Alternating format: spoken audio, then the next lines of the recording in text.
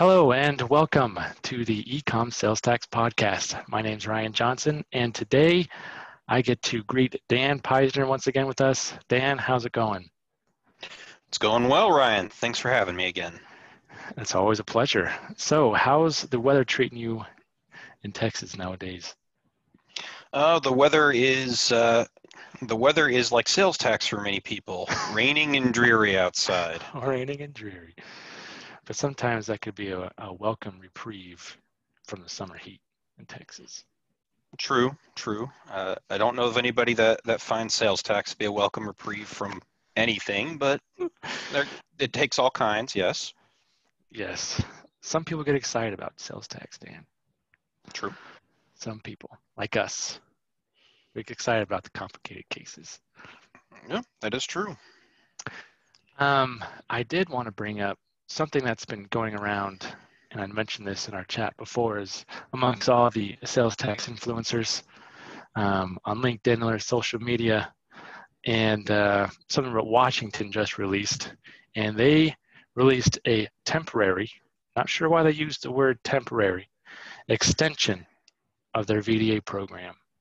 Um, and I kind of wanted wanted you to talk about that since you know that's what you're in uh, day in and day out and get your take on whether or not that's a it's a good program and who can benefit from it and who doesn't. Oh, certainly, Ryan. So I, I, think the reason that they put the, the word temporary in there is is the, the state's trying to build some buzz, and they're, uh, they have kind of got a twofold uh, approach here. The first is that they are trying to help a lot of companies that, that are struggling with COVID related expenses and fall offs in revenue and and the the department is is ostensibly trying to reach out a little bit to that. And the the other reason is that you see this is the same thing that we see time and time again, and that is when whenever the states start hitting revenue issues and they they start falling on hard times, one of the things that they like to pull out of the old playbook is to do some kind of an expanded VDA program or an amnesty program, something to kind of get create some buzz and some excitement and get some, some additional revenue in, as well as some new taxpayers. And uh, so that I feel like that's probably the reason that you see this this program uh, in a temporary form being brought up. Uh, by making it temporary, it does create some some urgency to get people to to jump on the program and sign up and, and get through it. But uh, I guess to your next point as to whether whether it is a, a benefit uh, or, or who it can benefit, uh, I think that that's the answer to that's a little complicated. So the the expanded criteria is not it, it definitely has some pitfalls in it. So when you think about a, a voluntary disclosure normally, it's the, the state requires that, that the business has never been contacted by the department, uh, that they've ne- that they've never been contacted, they've never been registered before, they've never reported tax before, and that they haven't engaged in in uh, evasion or misrepresentation. So those are the, the normal criteria under the expanded criteria, whereas before you had to, you could never have been registered or reported taxes to the department. They will now say that businesses that close their tax registration prior to January 1st of 2020 can, can enter into voluntary disclosure. And this includes businesses that previously filed. In addition, they'll also allow businesses that were put on active non-reporting status, which simply means these are small businesses that that uh, for whatever reason they, they may not have had taxable products and didn't have enough B&O to report that they were recognized as active, but they, they didn't have to file a report. And if you if your revenues picked up or you change your product mix and never change that, you could have some liability. And, and so those are those, those types of taxpayers could be covered under this if you hmm. uh, and and to me that that first one with the tax registration prior to jan of 20 to me, that speaks to taxpayers that that uh, exited the state and lost their physical presence prior to Wayfair, and then Wayfair came along. They may have triggered Nexus, and they just never they never got around to re-registering. So those those could be kind of the, the taxpayers that Washington's looking to scoop up with this. The second round of criteria is a little more complicated. When they talk about normally you can never have been contacted by the department for enforcement purposes, they're saying that if you're if the most recent enforcement contact was prior to July of 2019. So if the enforcement has talked to you on or after July 1st of 19, you'd be disqualified. And any businesses that have ever been contacted by the department regarding Wayfair, the Marketplace Fairness Program, or remote seller relief would not qualify.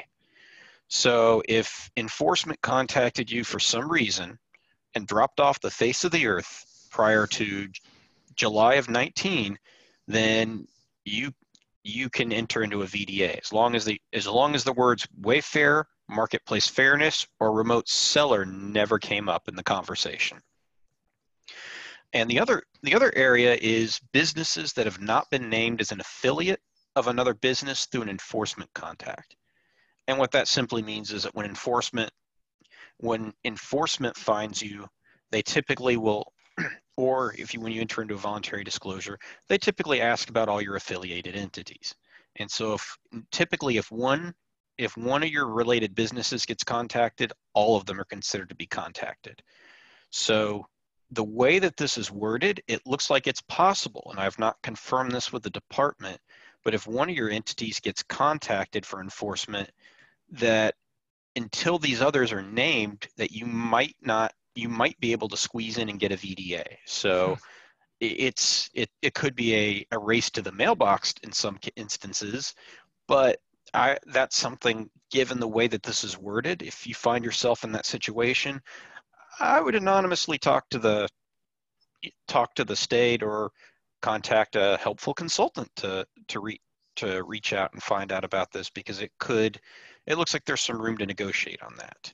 Uh, and then if there's any kind of evade, tax evasion or misrepresentation in, in reporting tax liabilities, that has not changed. Uh, you can't, you, they're not letting you off if you if you were committing fraud. One important note is that this this does not extend to tax collected not remitted. Uh, if you have if you do have tax collected not remitted, they they will have an unlimited look back to when you collected the tax and there is a 29% late payment penalty that they they do apply. They do not waive that for tax collected not remitted. Yeah, don't do that. Um, so to be clear, this does not benefit those you know that were contacted about Wayfair. Correct.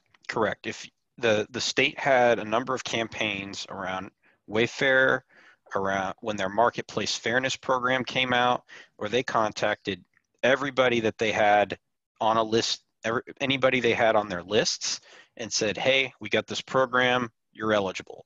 If you got contacted about participating in those programs, they're not going to give you a VDA according to these criteria. So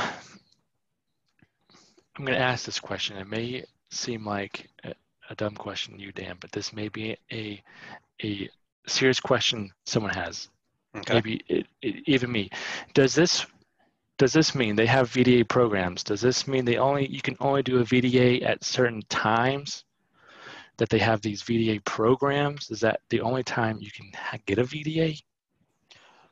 Well, the VDA program is always going on. So under the normal criteria, if if you've never been if the state doesn't know you exist if you've never been contacted you've never been registered that criteria those vdas are always open. Uh, that those programs are always around because there's always there's always new companies out there. There there's they're always happy to have a taxpayer they don't have to find. They're they're happy when new taxpayers come to them. The, these expanded criteria uh, for this temporary program this is only available through from now through November 30th. So you, you've got uh, roughly roughly about four months to uh, to apply and get through the program. And now there's and there's a few other de- deadlines once you apply, and it has to be through their online application. But one, assuming you meet the criteria and you and you uh, you you have to apply by November 30th and meet a couple of other deadlines, but but assuming that you do that, you can qualify under the expanded criteria. Otherwise, if you if you still meet normal criteria, then you can VDA whenever. Okay, yeah. Um, also, kind of what's the process of finding out that you do, that you should get a VDA done? Well, typically, what the the process for finding a, out about a VDA or to determine if you need a VDA is uh, you would look at your you would you'd want to take a look at your your physical nexus provide your identifiers. You would want to look at your economic nexus identifiers. Uh, you would want to determine you want to determine did you have nexus in the state of Washington? When did you have nexus? How much liability do you have with the state?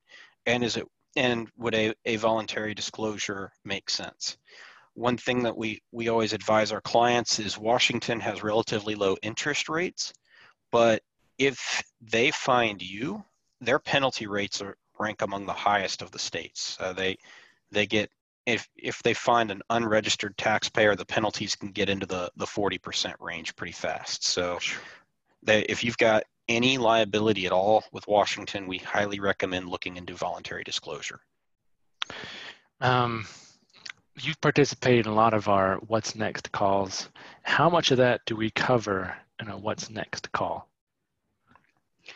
Uh, we we cover we can cover uh, depending on level of specificity. We can we cover a lot of that. We can cover the the general elements. I mean, there's there's some things. Uh, for example, if you've had if you've been in the if you had salesmen going into the state for years, then uh, that, that the next bit's pretty pretty easy. But we we we try to walk you through uh, all of those factors I mentioned, and then uh, if and we'll we also look beyond Washington. So we're going to look at at uh, just about every state and try to figure out if you, uh, in a lot of cases, if you're going to need a kind of a formal analysis to really do a deep dive, determine where you're not only where you're uh, not only where you have Nexus, but where you have that exposure. Look at the taxability. Uh, if if you've got if you've got Nexus, but your product's not even taxable in the state, then obviously a VDA may not be needed. And then also looking at the if once you have exposure, looking at at uh, next steps. Uh, is does a VDA make sense? Do you want to just it make more sense just to pay the back taxes? And, and we can kind of walk through all of that It's pretty extensive. Um, and I want to point out that these these calls are free, uh, and you can sign up at any time. Uh, you can find a link to sign up for your and schedule your What's Next call, um, and you may get on the phone with Dan and get all your questions answered. Um, all right, Dan. Um, was there anything else you wanted to add? I've got no more questions for you. Um, just wanted to thank you so much for being on with us today. Oh, it's my pleasure. Uh, I don't really. I think that pretty well covers the the Washington VDA program. Um, the the only thing to add is Washington in the past has been a very aggressive state. Uh, I don't, as of and uh, as of late, I, uh, they're like all the other states, their tax revenues are going to be hurting, particularly their because they are so reliant on their sales tax. So uh, it is it is very possible that we can start seeing enforcement ramping up. So if you if you do qualify for this program, uh, I do urge you to give it serious consideration. All right, thanks again, Dan, and we hope to see you guys on another one.